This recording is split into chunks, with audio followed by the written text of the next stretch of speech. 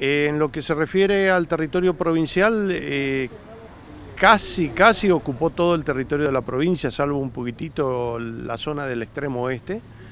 Y fueron milimetrajes eh, para lo que venía el, estado de sequía en toda la provincia, eh, interesantísimos realmente.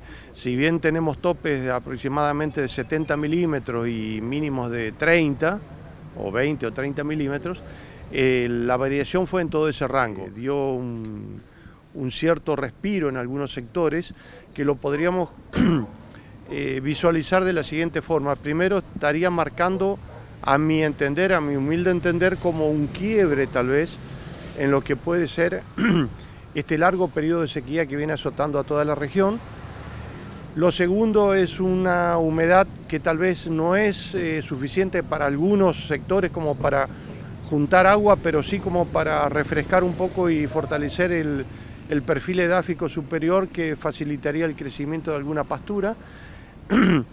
y mm, el otro, que también es interesante, el factor del fuego. Si recordamos semanas atrás, eh, la provincia estuvo azotada en varios lugares por, este, efectos del fuego y esto en cierta manera cierta manera traería una, calma en el sector este, de pastura y forestal como para mitigar algún foco que se pueda incendiar. Después hubo algunas consecuencias interesantes.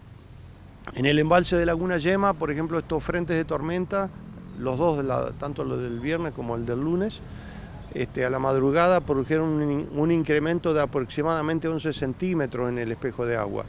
Y también el otro, la otra ventaja es que el canal de revestido en hormigón de Laguna Yema lo tenemos ya prácticamente eh, lleno de agua hasta el sector de las lomitas, con lo cual es una situación ventajosa si lo analizamos respecto también de 15 días atrás. En el día de hoy eh, en los puertos de Vallemí y Concepción hay un, incremento de 6 centímetros en la altura este, que toma la prefectura de Paraguay. Este, y eso es algo aliciente porque tendríamos que ver mañana cómo repercute, generalmente son unos cuantos días, con lo cual podría provocar un pequeño incremento también en este sector del tramo inferior de lo que es la cuenca del río Paraguay.